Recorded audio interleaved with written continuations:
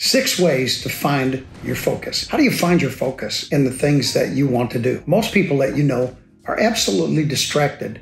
They procrastinate, they put things off. How can you find your focus? Number one is you need to eliminate distractions. Get rid of the distractions inside your life. If you're sitting next to someone in school that continually distracts you, you move away from that in order for you to gain your focus. If you're around individuals that actually keep you from becoming successful in life. And what you need to do is you need to spend some time away from them. I've had people work for me over the years uh, who I absolutely loved. I thought that they were great. They were people that I would love to go to the mall with and that I'd love to go to dinner with, but they were not people that I like to work with. They did not want to work, but I loved them. I thought that they were great.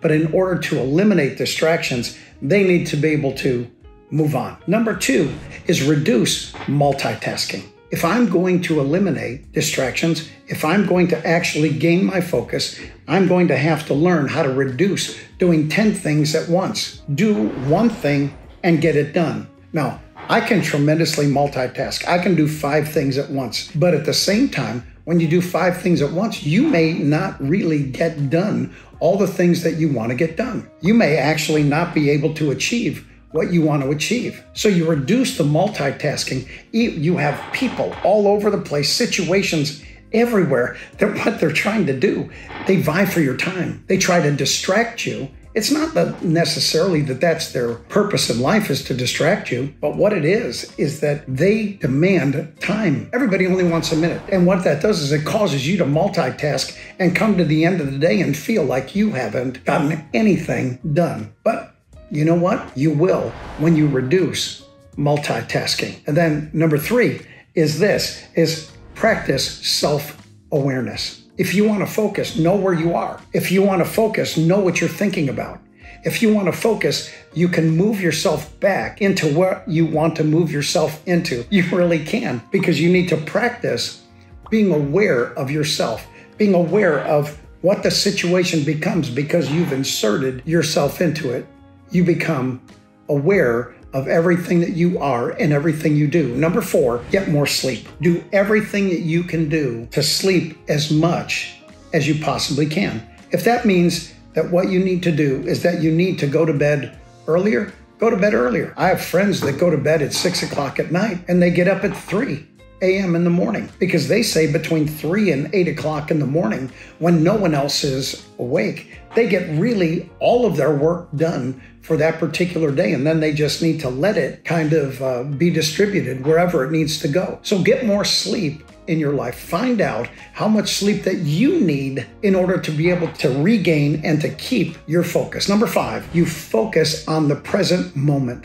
Be present where you are 100% all the time.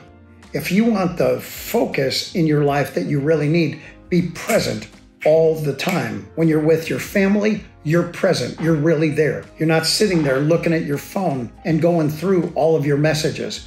You're with your family. When you're at work, you're at work, not trying to answer the kids or answering your friends or hanging out.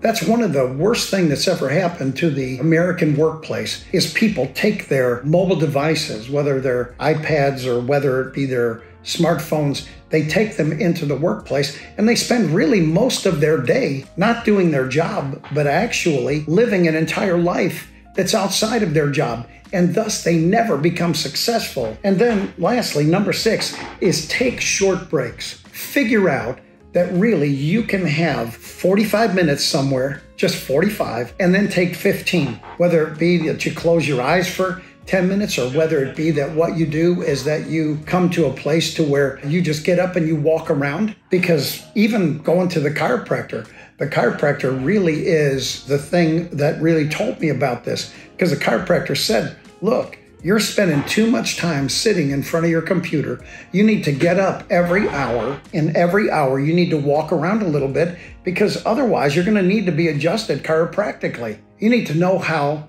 to do that. And those are the six things that will help you find your focus.